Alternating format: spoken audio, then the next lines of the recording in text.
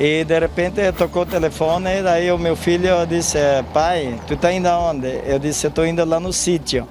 Ah, foi sorteado o Trilegal. Não acredito, eu disse. Por Deus do céu, muita emoção. Ah, fiquei muito feliz, muito feliz. A gente tem bastante conta para pagar, né? E quem sabe vai sobrar um pouquinho, né?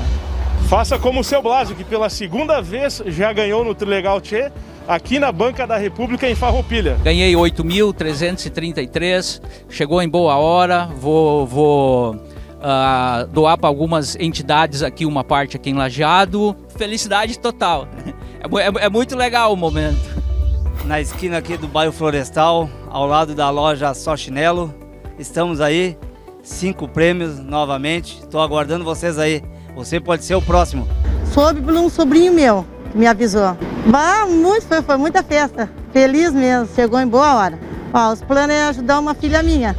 Olá, eu sou a Débora, promotora do Trilegal aqui da Banca do Correio e estou aqui agora com a dona Neida, ganhadora desta semana. Faça como ela, venha comprar o seu Trilegal aqui na Banca do Correio e seja você mais um ganhador, porque aqui nós somos pé quente. Foi meus vizinhos que me avisaram, tá? Me mandaram mensagem porque como eu estou cuidando da minha esposa, não pude assistir o sorteio.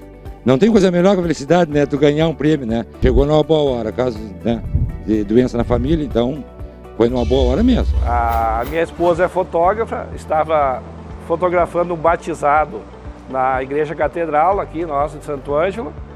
E durante a missa eu estava com o celular desligado. Mas daí, bem na hora que eu estava conversando com ele, chegou uma mensagem do, do meu vendedor do Telegar, o Newton, né? Me comunicando que eu era um dos ganhadores do prêmio.